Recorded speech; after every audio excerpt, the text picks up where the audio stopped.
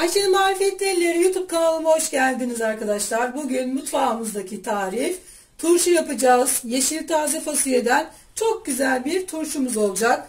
Böyle çıtır çıtır kütür kütür asla tazeliğini, kütürlüğünü bozulmadan saklanan harika bir turşumuz olacak.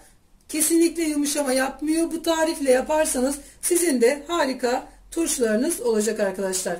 Şimdi şöyle göstereyim. Önce ben sarımsaklarımı şöyle ılık su olması gerekiyor ama sıcak su olursa sarımsaklar sararır. Hiç hoş durmaz. Ee, benim şöyle 3 saat falan oldu. Çok da erken koymadım yani. Şöyle hemen soyulmaya başladılar bile. Ee, burada bana lazım olacak olan limon tuzu, kaya tuzu, taze fasulye ve e, sarımsak olacak arkadaşlar. Ben güzelce yıkadım. Sirkeli suya koydum fasulyelerimi tertemiz ayıkladım. Bu şekilde koymak için e, uzun uzun düşünüyorum koymayı. E, bu şekilde haşlayacağım. Haşladığımız zaman direkt bir şoklama işlemi olacak biliyorsunuz. E, kaynar sudan soğuk suya rengi bozulmaması için diriliği, e, kütürlüğünü oradan sağlıyor biraz da.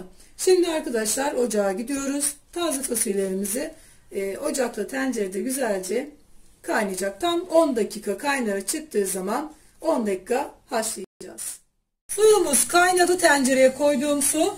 Hemen bir miktarını koydum. Bir miktarını sizinle birlikte koyalım. Şöyle 2,5 kilo fasulyeden ayıkladık. Temizledik. Suyumuz kaynadı. Hemen şöyle alabildiği kadar içine koyuyoruz.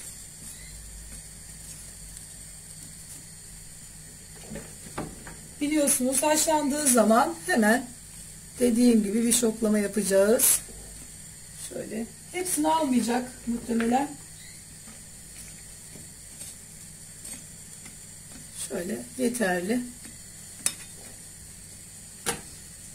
Kaynamaya başlasın. Bir 10 dakika dediğim gibi kaynayacak arkadaşlar. Evet fasulyemizin haşlanmış olması yeterli. Bakın sapsarı. Şöyle altından göstereyim. Sapsarı oldular. Yeterli bu kadar. 10 dakikadır haşlanıyor. Şimdi bunu direkt şöyle alabilirsek suyumuzun içine soğuk suyumuz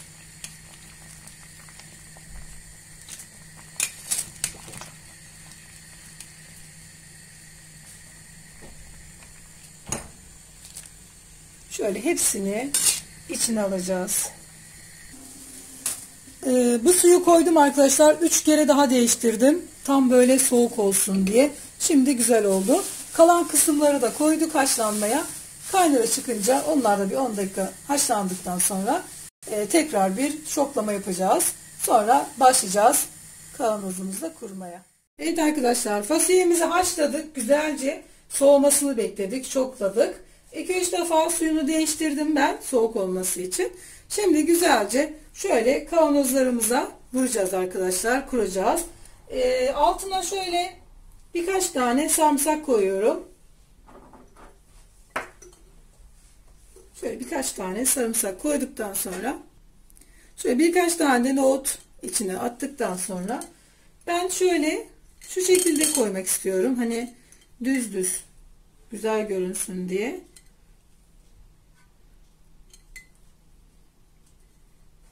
Biraz uğraştırıcı ama inanın çok güzel duruyor görünüşü. Bakın ne kadar güzel sapsarı olmuşlar. Şöyle hepsini sırayla dizeceğim.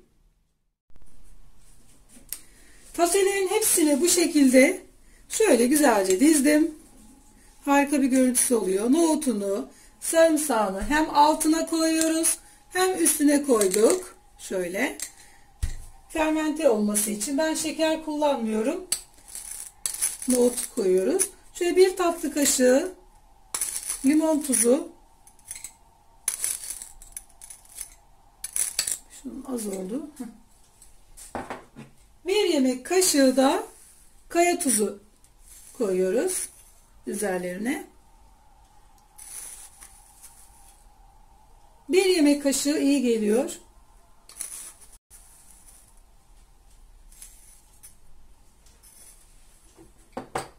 Birer çay bardağı da Her bir litre için üzüm sirkesi bırakıyoruz. Şimdi arkadaşlar önemli bir konu. Biz maydanoz kullanıyoruz turşularımız için. Çok da güzel oluyor. Şöyle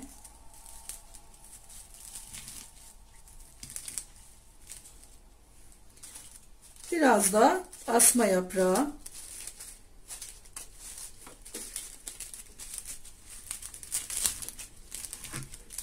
şöyle şimdi suyunu ilave edeceğim Şimdi sularını bırakıyoruz. Asma yapraklarını, maydanozlarını bıraktık. İçme suyu olması gerekiyor. Eğer çeşme suyunuzsa e, kaynatıp soğutun arkadaşlar. Şöyle görünecek kadar başa çıkacak.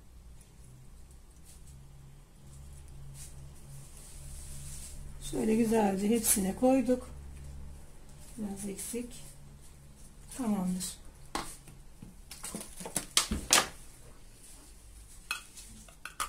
Şöyle yapıyoruz. İki geri bir ileri şöyle iyice sıkıyoruz arkadaşlar. Bakın harika bir turşumuz oluyor. Erime olmuyor kesinlikle. Biz bu şekilde yapıyoruz. Hem altına koyuyoruz hem üstüne koyuyoruz malzemelerden. Size de tavsiye ediyorum. Sırayla hepsini şöyle iki geri bir ileri kapatıyoruz. Evet arkadaşlar şu anda fasulye turşumuz tamamen bitmiş hali. İnşallah 15-20 güne kadar harika lezzetli turşularımız olacak. Bizler afiyetle yiyeceğiz. Buraya kadar izlediyseniz abone olmayı unutmayın. Destek olmayı unutmayın yeni gelen arkadaşlarımıza kesinlikle zilin tüm kısmını açarsanız tariflerim sayfanıza gelir. İstediklerinizi yapabilirsiniz. Turşular, börekler, kahvaltılıklar, ana yemekler, tencere yemekleri hepsi hepsi var kanalımızda. Bugün de tarifimizi yaptık. Ta taze fasulyeden çok güzel bir turşu. Bugünkü tarifimiz bitti arkadaşlar. Başka tariflerle görüşmek üzere. Hoşçakalın, sağlıklı günler diliyorum. Allah'a emanet olun hepiniz.